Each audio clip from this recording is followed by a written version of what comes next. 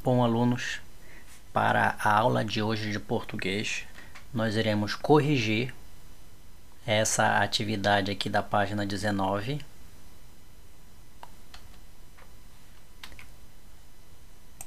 E eu vou explicar a página 20, que também é uma atividade. Juntamente com a explicação da página 20, eu vou explicar a página 21 que trata sobre a produção de textos, aonde nós vamos fazer para a próxima aula de português, que é lá na quinta-feira, a primeira questão, a segunda questão, até aqui, ó, a terceira questão. Então, até aqui é onde nós iremos tratar da aula de português de hoje. Vejam bem aqui,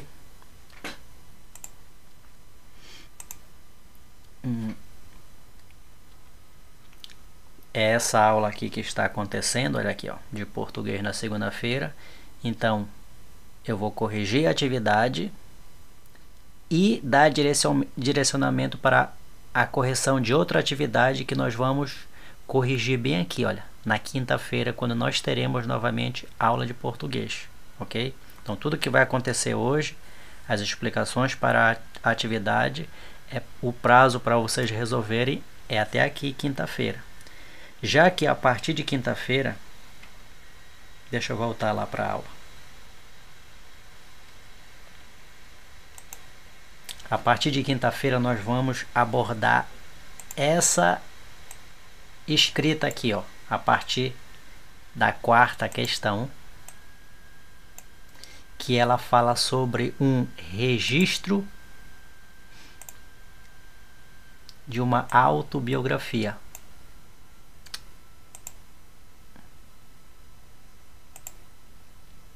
Aqui, autobiografia. E quando for lá na quinta-feira, que nós formos corrigir a atividade da página 20, 21 e até a terceira questão da página 22, Aí eu vou dar uns direcionamentos porque nós vamos começar a construir a nossa autobiografia. Cada aluno vai produzir a sua, inclusive eu vou produzir. E assim que nós formos produzindo, eu vou dando algumas orientações no decorrer da aula e no final da produção da nossa autobiografia, eu vou transformar em um álbum virtual, ok? Mas, primeiramente, vamos nos concentrar na correção dessa atividade da página 19. A explicação da página 20, 21 até a terceira questão da página 22. Vamos lá. Primeiramente, a correção da página 19. Então vamos lá. Então vejam aqui que temos um texto. Espero que vocês tenham feito. Eu já vi uma atividade de um aluno que enviou para mim, aonde ele fez a parcialmente essa o preenchimento dessa tabela aqui. Porque como eu, eu acho que ele não assistiu o vídeo, os vídeos que eu faço é importante porque é nesses vídeos que eu dou as dicas e devem ser colocado aqui todas as palavras como nós vamos fazer agora aqui, ó. Veja aqui, acentuação das proparoxítonas e das oxítonas.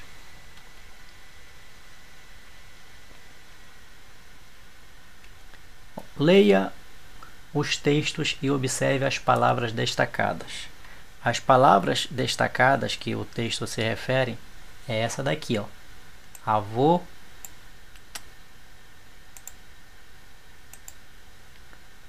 avô, pássaro, oboé, tímpano,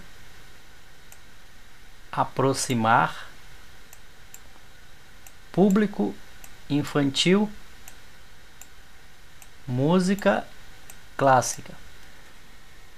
Vejam que são nove palavras que vocês devem, de acordo com a sua classificação, escrever aqui ou em oxítonas ou em paroxítonas. Vou ler o texto. Para cada para cada personagem na história existe um instrumento correspondente. Pedro, instrumento de cordas, lobo, as trompas, o avô é o fagote, pássaro, flauta, pato, oboé, o gato, clarinete e os caçadores, os tímpanos. Encomendada a Prokofiev pelas autoridades russas com a finalidade de aproximar o público infantil da música clássica. Pedro e o Lobo é uma obra que encanta crianças e adultos em todo o mundo. Então agora vamos lá. Ó. Vamos ver aqui avô, de acordo com as explicações. Avô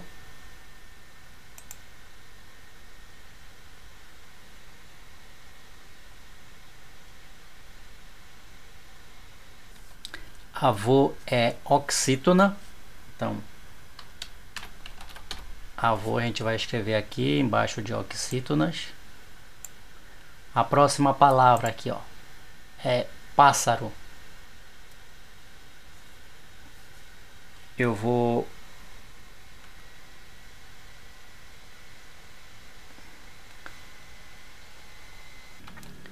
Vou mostrar aqui porque que avô é oxítona. Veja aqui, ó.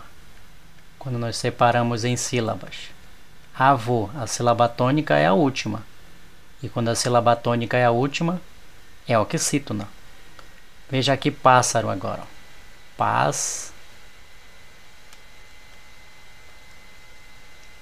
Saro. Veja que a sílaba tônica é que está acentuada. Última, penúltima, antepenúltima. Quando a sílaba tônica é a antepenúltima, então a palavra é proparoxítona. Então pássaro é aqui em proparoxítona. Agora veja aqui oboé. Vou separar em sílaba a palavra oboé. O bo é. A sílaba tônica é que está acentuada, é a última. Então oboé é oxítona. Oboé. Vamos ver agora aqui. Vimos já o oboé. Tímpano. Ó. Tim.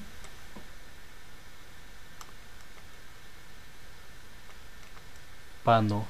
Sílaba tônica antepenúltima, então é proparoxítona. tímpano.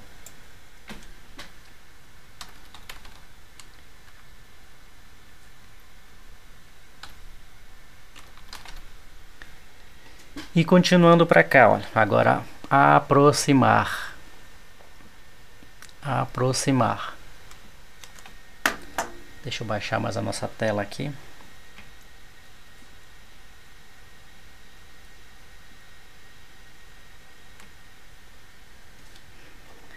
Lembra que eu falei para vocês que quando uma palavra não tem acento e termina em R ou L, a sílaba tônica é a última? Ó, a, pro, si, mar. Sílaba tônica, mar. A última, então, ela é oxítona.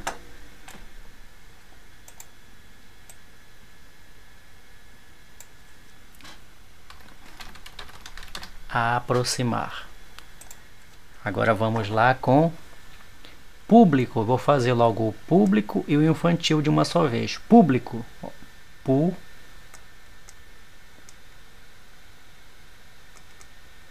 Público. Sílaba tônica antepenúltima. Então aqui vai ser proparoxítona. E infantil. In.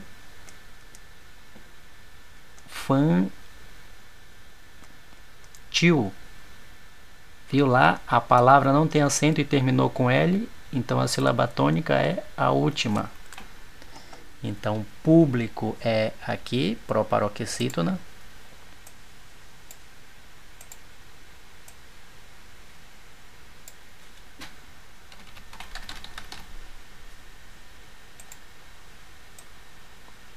E infantil é oxítona. E agora vou fazer música de uma só vez, música e clássica.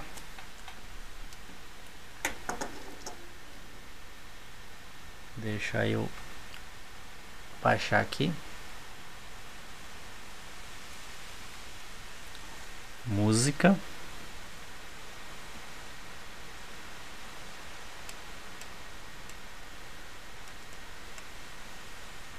Sílaba tônica é a que está acentuado, antepenúltima, então é proparoxítona e clássica.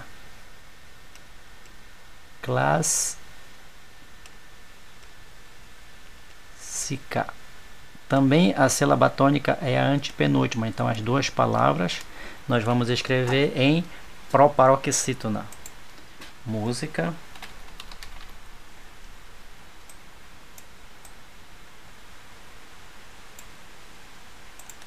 E clássica.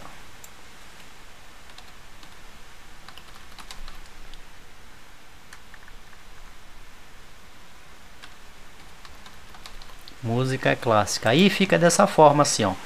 Oxítona, avô, oboé, aproximar e infantil. E as proparoxítonas, pássaro, tímpano, público, música e clássica. E agora dando continuidade. Ó. Todas as palavras proparoxítonas têm Olha, vejo aqui que todas as palavras proparoxítonas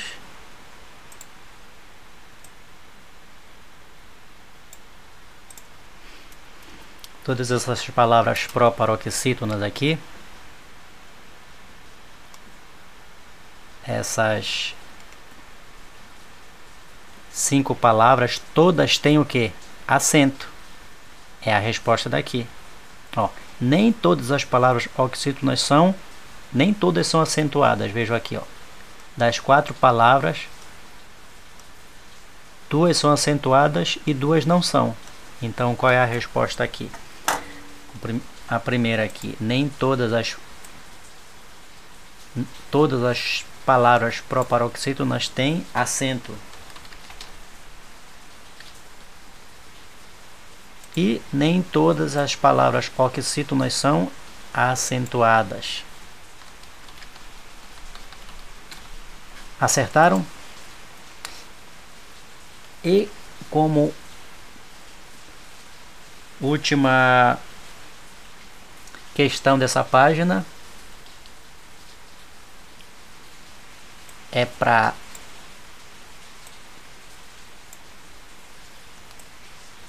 é para marcar, para circular,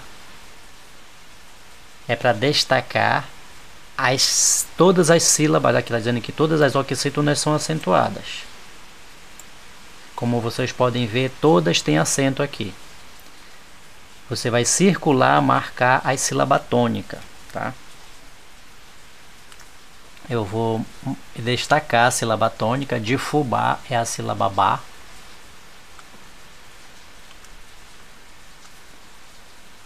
Deixa eu marcar embaixo. É a sílaba ba.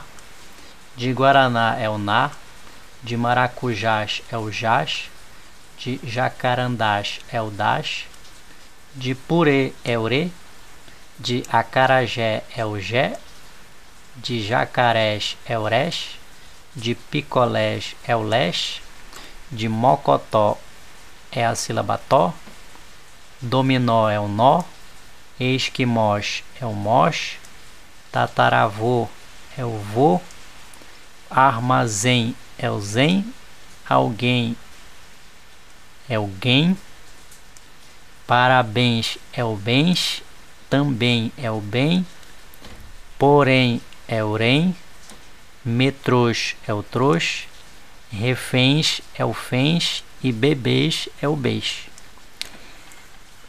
É importante entender aqui que como nós vimos que todas essas oxítonas elas são acentuadas. E vejam só, quando a oxítona é acentuada, quando ela termina aqui, ó, em A, veja aqui, ó, quando ela termina em A, em E, em O,